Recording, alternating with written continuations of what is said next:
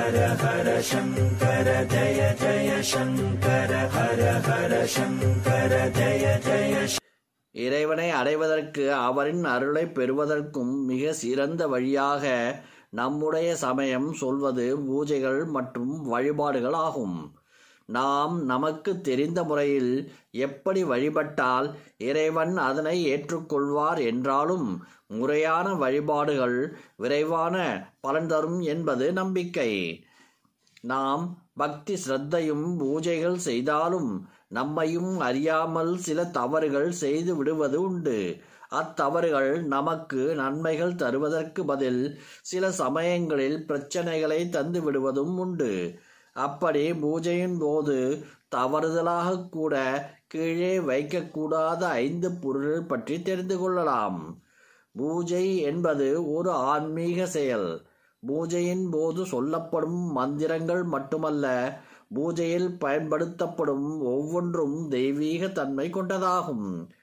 பூஜை என்பதே தெய்வம் வந்து பிரத்யட்சமாக ஆவாகனமாகும் இடமாகும். இறை சக்தியை ஒரு குறிப்பிட்ட விளக்கு அல்லது கும்பம் என குறிப்பிட்ட ஏதாவது பொருளில் எழுந்தருளச் செய்து அவற்றிற்கு மரியாதை செய்து மகிழ்வித்து அதன் மூலம் இறைவனின் அருளை பெறுவதற்கான வழிமுறையே பூஜையாகும். பூஜை எவ்வளவு முக்கியமோ அதே போல பூஜைக்கு பயன்படுத்தப்படும் பொருட்களும் மிக மிக முக்கியம். அவைகள்தான் நாம் செய்யும் பூஜையை முழுமை பெறச் செய்து அதன் பலனை நமக்கு பெற்று தருவதாகும். பூஜை செய்ய வேண்டும் என்ற நினைப்பு மட்டும் மனதில் இருந்தால் நாம் பூஜை செய்யும்போது தெரியாமல் சில பொருட்களை தரையில் வைத்து செய்வோம். அப்படி தரையில் வைத்து பூஜை செய்வது நல்லதா? எந்தெந்த பொருட்களை கண்டிப்பாக தரையில் வைத்து பூஜை செய்யக்கூடாது?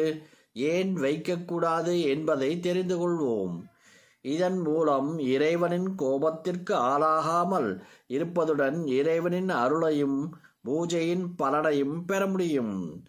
சிவலிங்கம். வீட்டில் சிவலிங்கத்தை வைத்து வழிபடுவது தவிர்க்க வேண்டும். அப்படியே வைத்திருந்தால் அதை கண்டிப்பாக தரையில் வைக்கக்கூடாது. அதற்காக துணி அல்லது பேப்பரின் மீது தான் வைக்கிறேன் என்றும் வைக்கக்கூடாது.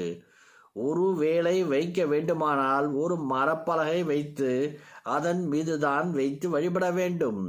இல்லாவிட்டால் தனியாக பீடம் அமைத்து அதன் மீதுதான் வைக்க வேண்டும். பூணல் மதத்தில் முக்கியத்துவம் வாய்ந்த ஒன்றாக கருதப்படுகிறது. நான் தான் பிரம்மன் என்பதை ரகசிய மந்திரத்தின் துணையுடன் உணரச் செய்வதே பிரம்ம பிரதிஷ்டையாகும். தெய்வீகத்தை உணர்வதற்காக பிரம்ம பிரதிஷ்டை தீட்சை வழங்கப்படுவதற்கான அடையாளமாக அறியப்படுவதே பூணல். இத்தகைய புனித நூலை எப்போதும் தரையில் வைத்து பூஜை செய்யக்கூடாது. சங்கு. சங்கில் வலம்புரி சங்கு மற்றும் இடம்புரி சங்குகள் இரண்டும் தெய்வீக தன்மை வாய்ந்ததாகும். சங்கில் லக்ஷ்மி தேவி குடியிருப்பதாக கருதப்படுகிறது. இந்த சங்கை வீட்டு பூஜை அறையில் வைத்து வழிபடுவது மிகவும் சிறப்பு. ஆனால் எக்காரணத்திற்காகவும் தரையில் மட்டும் வைக்கக்கூடாது.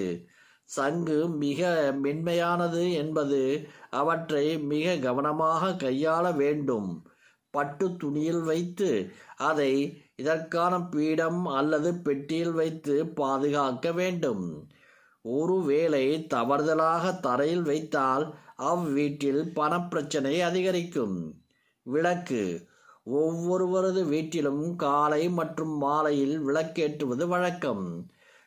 குத்து விளக்கு அல்லது காமாட்சி விளக்கினை மனைப்பலகை அல்லது பித்தளை தட்டில் வைத்து ஏற்றுவது சிறப்பு. அகல் விளக்குகளாக இருந்தாலும் அவற்றை தரையில் வைத்து செய்யக்கூடாது. மாறாக இதனை ஒரு சுத்தமான துணியில் மேல் வைத்து ஏற்றலாம். அல்லது செம்பருத்தி இலை வெற்றிலை ஆகியவற்றை வைத்து அதன் மீது வேற்றுவது சிறப்பு. தங்கம். தங்கத்தில் லக்ஷ்மி தேவி இருப்பதாக கருதப்படுகிறது. எனவே பூஜை அறையில் தங்க பொருட்கள் இருந்தால் அவற்றை தரையில் வைக்காதீர்கள். தங்க நகைகள் வைத்து வழிபடுவதாக இருந்தால் சுவாமி படங்கள் அல்லது விக்கிரகங்களுக்கு அணிவிக்கலாம்.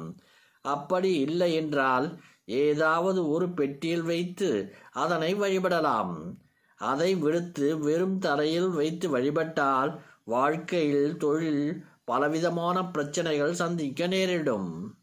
ஹர ஹர சங்கர ஜய ஜய சங்கர ஹர ஹர சங்கர ஜய ஜய